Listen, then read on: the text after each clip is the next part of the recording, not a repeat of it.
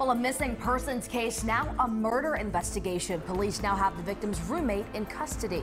Hello, everyone. I'm Nicole Baker. And I'm Rick Ritter. The story certainly taking a bizarre turn now. Baltimore City police say the roommate confessed to the stabbing and killing the man, even showed detectives where he hid the body. WJZ is live tonight. Rachel Carden spoke to a friend of the victim who had known he'd been missing for several days. Rachel.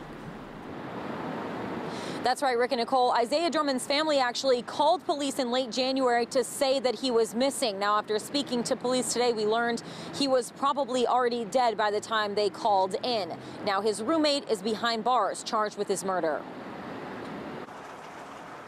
Along Cecil Avenue, friends of Isaiah Drummond say this loss is hard to process. He helped people, students strive. Um, he was good for getting advice from anybody. Um, he's definitely a good person, and um, I know a lot of people are going to miss him. Police say the 29-year-old was reported missing by his family on January 28th, so detectives went to his house. And they found evidence that would suggest foul play was at hand. Monday, police spoke to Drummond's roommate, 28-year-old Epenetus Enriquez, and questioned him. Ultimately, he confessed to killing his roommate. Um, he said he stabbed him, and he confessed to dumping the body. Police say Henrique guided them down a path off Reedbird Avenue, and when they got to the edge of this bank, they could see the body in the water.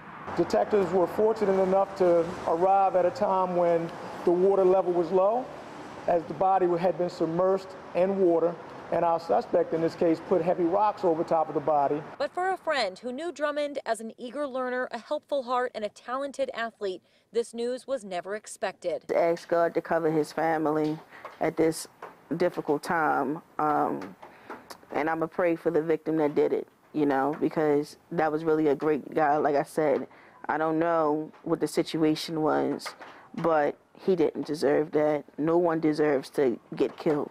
Police are not releasing a motive at this time, but say Enriquez faces a slew of charges, including first-degree murder.